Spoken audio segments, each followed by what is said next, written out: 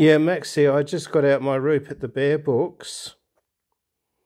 That's like a Christmas theme, that one. See how Father Christmas is giving out toys. And Rupert's got something there, and a lantern. This one is The Wind in the Willows. That's nice. It's illustrated. It's beautiful. And this one, he has all little adventures. Just see if I can open that up to something nice. What we got here? Right.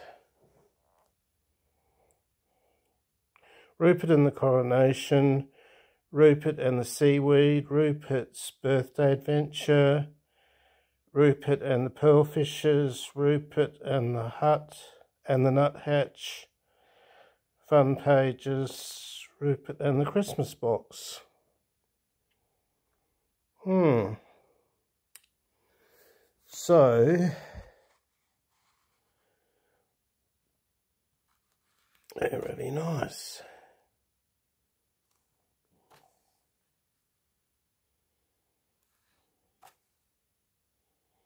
Crossword puzzle.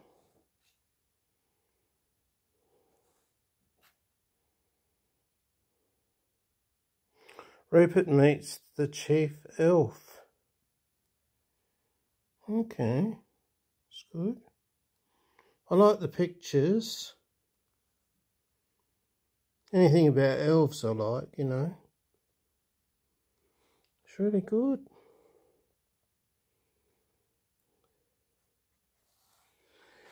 Yeah. So anything about bears, I know you like bear things. I like bears too.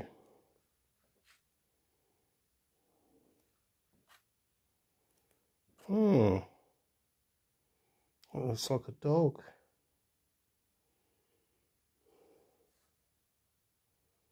It's like a monkey. So I'll enjoy reading those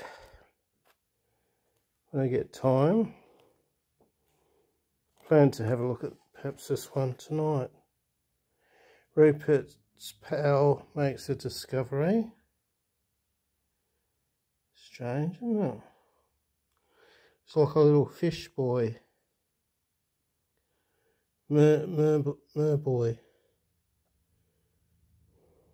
Merman. Hmm. Merboy, hello, how are you?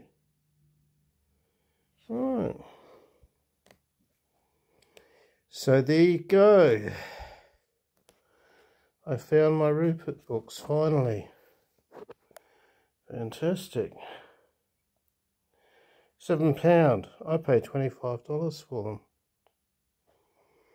Beautiful. Beautiful. Beautiful.